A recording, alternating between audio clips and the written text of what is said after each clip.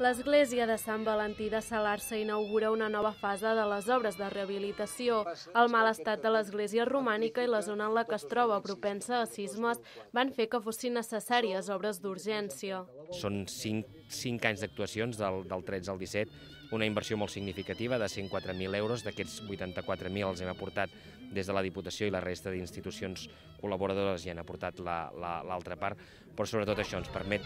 rehabilitar aquesta església, posar-la en valor. Per tal d'inaugurar les obres del bisbe de Girona, Francesc Pardo, hi va celebrar una missa. Seguidament, els amics de l'Alta Garrotxa, l'alcalde de Camprodon i l'arquitecte de les obres van fer un petit discurs per a aquells que s'hi van apropar. Una satisfacció, diguem-ne, perquè veus que tota la gent ha col·laborat, que veus que fas una cosa,